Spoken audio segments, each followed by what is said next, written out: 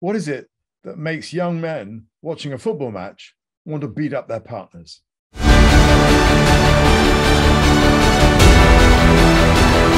heard a statistic on Monday which kind of scared me. Apparently, before uh, the, the final match on Sunday, it was predicted that uh, victims of domestic abuse would be calling for help something like 33% more than normal uh, a, a, couple of hours after the end of the game had England lost. And what's even more scary is that it was predicted that if the, the game was won, that still the, the, the numbers would go up, but this time by about 27%.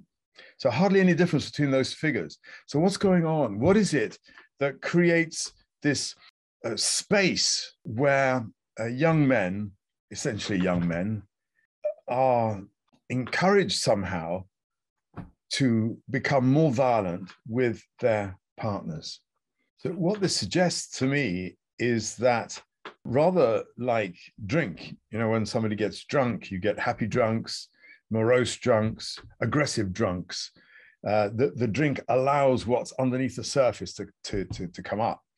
And this is rather the same that when young men see this level of tension and energy coming off uh, the screens watching a, a football match, it gives them a sense of permission to express this aggression that they have inside them, this pent up anger.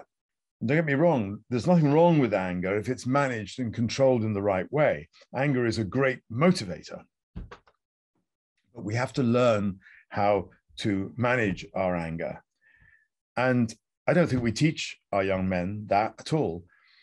I think we teach them a, a really warped version of masculinity, which they live out in all sorts of ways. And that's one of the roots of why there's so much misogyny still today. So, how about we change the way that we educate our young men? How about we change the um, opportunities that we give them because we've cut them back so much?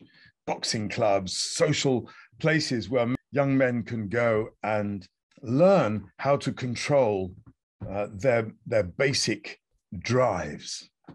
I think that would make a huge difference to our society and it would make our organizations a lot safer and happier places to work in. So there you go. There's my thought for the week. My name's Thom Dennis. I'm the CEO of Serenity in Leadership. And I hope that you'll like what I've said or disagree with what I've said, but put your thoughts in the comments. And I look forward to seeing you next week. Thanks. Bye.